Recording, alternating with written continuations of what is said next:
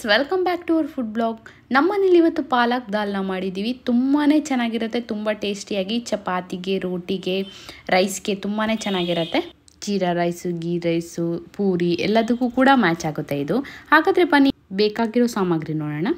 ತೊಗರಿಬೇಳೆ, ಹೆಸರುಬೇಳೆ, ಕಡಲೆಬೇಳೆ, ಜೀರಿಗೆ, ಖಾರದ ಪುಡಿ, ಧನಿಯಾ ಪುಡಿನ ತೊಗೊಂಡಿದ್ದೀವಿ ಒಂದು ಹಿಡಿಯಷ್ಟು ಪಾಲಕ್ ಸೊಪ್ಪನ್ನ ತೊಗೊಂಡಿದ್ದೀವಿ ಹಾಗೆ ಸ್ವಲ್ಪ ಕೊತ್ತಂಬರಿ ಸೊಪ್ಪು, ಟೊಮ್ಯಾಟೊ ಎರಡರಿಂದ ಮೂರು ಅರ್ಧ ಚಮಚದಷ್ಟು ಗರಂ ಮಸಾಲ, ಈರುಳ್ಳಿ ಹಾಗೆ ಒಂದೆರಡು ಮೆಣಸಿನ್ಕಾಯಿ, ರುಚಿಗೆ ತಕ್ಕಷ್ಟು ಉಪ್ಪನ್ನು ತಗೊಂಡಿದ್ದೀವಿ.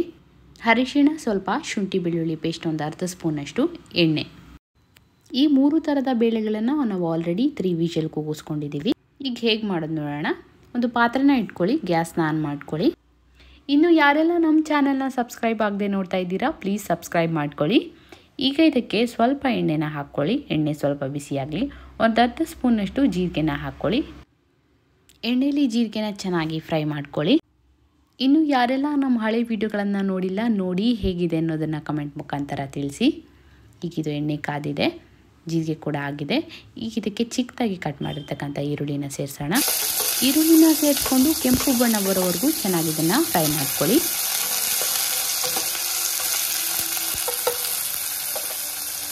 ಈರುಳ್ಳಿ ಸ್ವಲ್ಪ ಫ್ರೈ ಆಗಿದೆ. ಈಗ ಒಂದೆರಡರಿಂದ ಮೂರು ಹಸಿಮೆಣಸಿನ್ಕಾಯಿನ ಹಾಕ್ಕೊಳ್ಳೋಣ ಚೆನ್ನಾಗಿ ಇದನ್ನು ಫ್ರೈ ಮಾಡ್ಕೊಳ್ಳಿ. ಈಗ ಇದಕ್ಕೆ ಒಂದು ಸ್ಪೂನಷ್ಟು ಶುಂಠಿ ಬೆಳ್ಳುಳ್ಳಿ ಪೇಸ್ಟ್ನ ಹಾಕ್ಕೊಂಡು ಚೆನ್ನಾಗಿ ಇದನ್ನು ಫ್ರೈ ಮಾಡ್ಕೊಳ್ಳಿ. ನಾನೊಂದು ಒಗ್ಟನ ಕೇಳ್ತೀನಿ. ಉತ್ತರ ಗೊತ್ತಿರೋರು ಬೇಗನೆ ಕಮೆಂಟ್ ಮಾಡಿ. ಆಕಾರದಲ್ಲಿ ಗುಂಡಗೆ ಸುಟ್ಟರೆ ಸಾಯಲ್ಲ, ಬಡಿದರೆ ಬದುಕೋಲ್ಲ. ಹಾಗಾದರೆ ನಾನು ಯಾರು? ಉತ್ತರ ಗೊತ್ತಿರೋರು ಬೇಗ ಕಮೆಂಟ್ ಮಾಡಿ. ಈಗ ಎರಡರಿಂದ ಮೂರು ಟೊಮೆಟೊನ ಹಾಕ್ಕೊಳ್ಳೋಣ ಹಾಕ್ಕೊಂಡು ಚೆನ್ನಾಗಿ ಇದನ್ನು ಫ್ರೈ ಮಾಡ್ಕೊಳ್ಳಿ.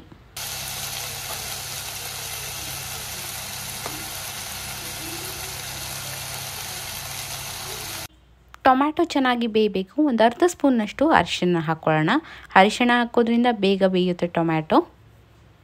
ಚೆನ್ನಾಗಿ ಇದನ್ನು ಫ್ರೈ ಮಾಡ್ಕೊಳ್ಳಿ. ಲಿಡ್ನ ಕ್ಲೋಸ್ ಮಾಡ್ಕೊಳ್ಳಿ. ಈ ಥರ ಲಿಡ್ನ ಕ್ಲೋಸ್ ಮಾಡಿ ಬೇಯಿಸೋದ್ರಿಂದ ಬೇಗ ಬೇಯುತ್ತೆ ಟೊಮ್ಯಾಟೊ. ಈಗಿದು ಟೊಮ್ಯಾಟೊ ಬೆಂದಿದೆ.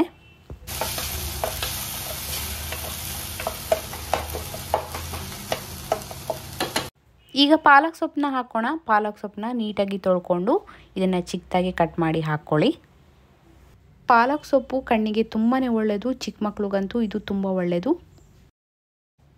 ಚೆನ್ನಾಗಿ ಇದನ್ನು ಫ್ರೈ ಮಾಡ್ಕೊಳ್ಳಿ. ಪಾಲಕ್ ಸೊಪ್ಪು ಚೆನ್ನಾಗಿ ಒಗ್ಗರಣೆಯಲ್ಲಿ ಬೇಯಬೇಕು. ಪಾಲಕ್ ಸೊಪ್ಪು ಬೇಯೋದಕ್ಕೆ ಜಾಸ್ತಿ ಏನು ಟೈಮ್ ತೊಗೊಳ್ಳಲ್ಲ ಇದಕ್ಕೆ ಎರಡರಿಂದ ಮೂರು ನಿಮಿಷ ಸಾಕಾಗತ್ತೆ.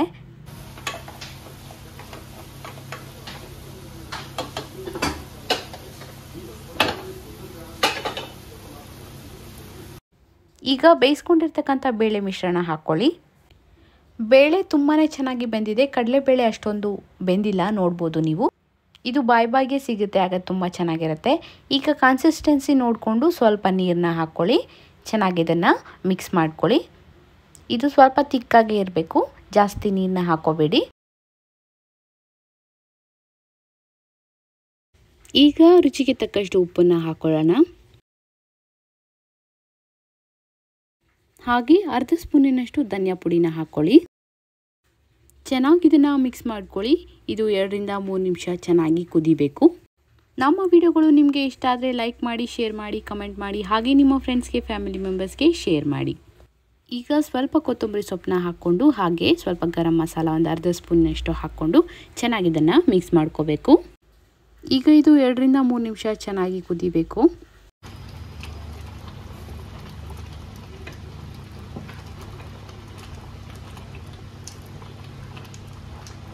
ಈಗ ಎಕ್ಸ್ಟ್ರಾ ಇದೊಂದು ತಡ್ಕಣ ಮಾಡ್ಕೊಳ್ಳೋಣ. ತುಂಬಾ ಚೆನ್ನಾಗಿರುತ್ತೆ. ಒಂದು ಚಿಕ್ಕ ಪ್ಯಾನ್ನ ಇಟ್ಕೊಳ್ಳಿ. ಇದಕ್ಕೆ ಸ್ವಲ್ಪ ಎಣ್ಣೆನ ಹಾಕ್ಕೊಳ್ಳಿ.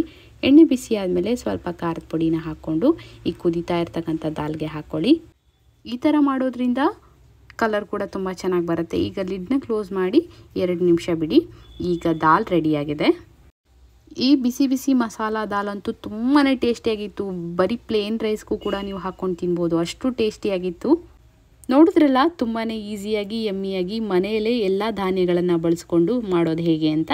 ನೀವು ಕೂಡ ಮನೇಲಿ ಇದೇ ರೀತಿ ಟ್ರೈ ಮಾಡಿ ಹೇಗಾಯಿತು ಅನ್ನೋದನ್ನು ಕಮೆಂಟ್ ಮುಖಾಂತರ ತಿಳಿಸಿ. ಇನ್ನಷ್ಟು ರೆಸಿಪಿಯೊಂದಿಗೆ ಬರ್ತೀವಿ. Till then